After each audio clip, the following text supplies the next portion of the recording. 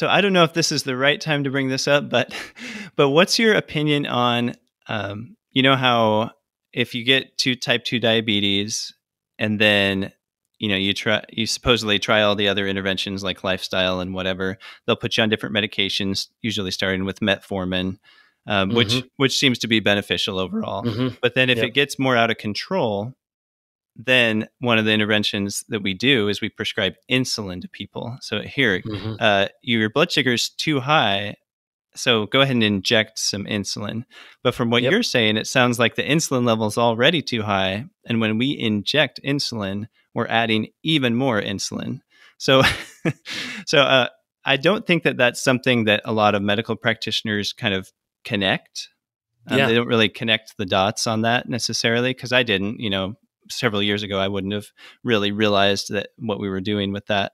Um, but what's your opinion on that? Um, does it make sense to prescribe insulin to type 2 diabetics? And if not, what should we be doing instead? Mm-hmm, mm-hmm. Yeah. So back to my um, acting this out. Um, by the time the person, so insulin has become diabetic, it, it's gone through this sort of progression. Insulin has been high for a long time. Glucose levels have been climbing, climbing, climbing.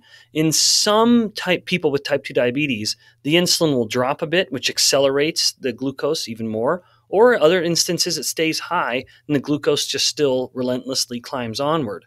In true type 2 diabetes, what many people think happens is that the insulin comes up and the glucose comes up and then the insulin goes to zero and then it skyrockets.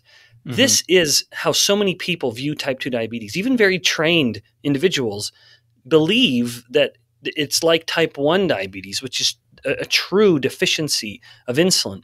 Now, there are some people who have had type 2 diabetes who coincidentally develop type 1, which is an autoimmune disease and has nothing to do with type 2. I don't even think they should be given the same name in mm-hmm. the same family of diseases because they're both diseases of opposites. Whereas type 1 diabetes is a disease of too little insulin, type 2 is primarily a disease of too much, or at least that's what's driving the disease. Regardless, even if insulin has come down a little bit in the person with type 2 diabetes, accelerating the spike in glucose, it's still significantly higher than it used to be before they ever started on that wayward metabolic path. But regardless, because we have a glucose centric view of the disease, essentially the clinician is saying, well, to heck with your insulin. Who cares if we push it up even higher? They might not even know where it is. All they know is if they push the insulin up even higher, the glucose will in fact come down. And because that's the target, the glucose, they believe they're achieving the optimal outcome. However, it's much more complicated and sinister than that. The more aggressively we're giving the type 2 diabetic insulin to control their glucose, the faster we kill them. They are three times more likely to die from heart disease, and twice as likely to die from cancer, and twice as likely to, to develop Alzheimer's disease. And throughout all of it, they need more and more and more insulin because they're, they're becoming ever more resistant to it. So in the book, I use this analogy, and it's quite heavy handed, but it's illustrative. And that is giving insulin to a type 2 diabetic is analogous to giving an alcoholic another glass of wine, hoping it will solve the problem. You're giving them more of the very thing that caused the problem. Because the truth is, too much insulin is one of the primary causes of insulin resistance. Yeah, yeah. So uh, yeah, a lot, again, a lot going on with with what you explained there. So part of that is the nerdy science stuff, which is you know that we could draw graphs of the insulin, like how high is it when you get type two diabetes, mm-hmm. and once your type two diabetes gets worse, if it gets worse as it progresses, at you know, is the insulin even higher or does it start to drop off? And there's a little bit of variability there, I guess, um, because you mm-hmm. said like occasionally it'll drop down or that person will coincidentally develop um, the autoimmune type 1 diabetes. Yep. That's probably the, the minority to say the yep, least. Very uncommon. Yep.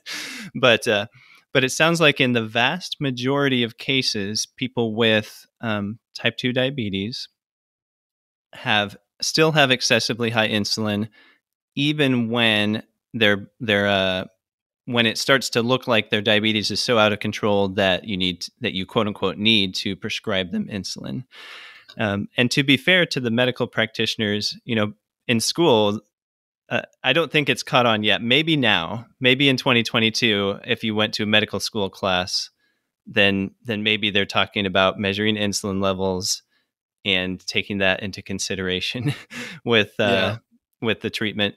But certainly, when I went to school, we were not taught anything like that, and so it was really just you just kind of learned that okay, eventually, if it gets out of control, then you'll have to add on insulin. You know, if nothing else is working if quote unquote right. nothing else is working, but there might be something else that could work.